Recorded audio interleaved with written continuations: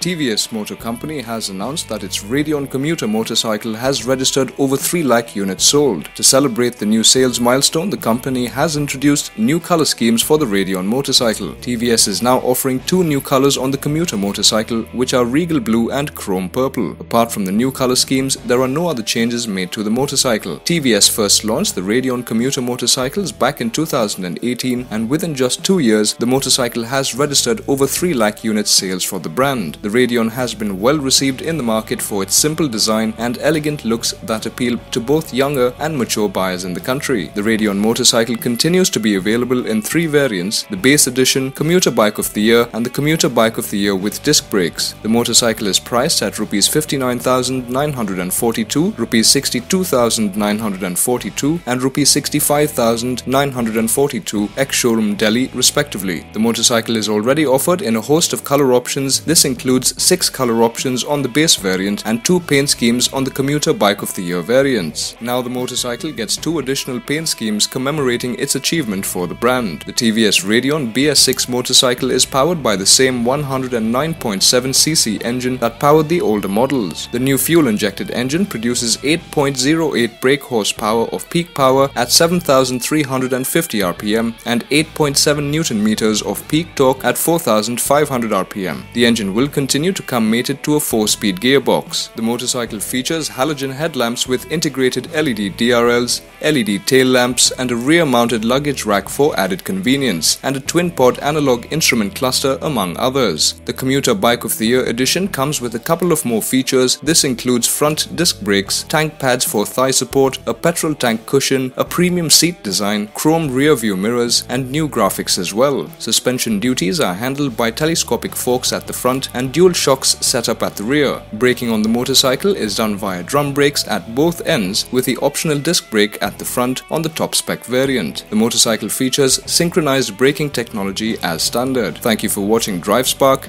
Like, share and subscribe to stay in the know of the latest happenings in the auto industry.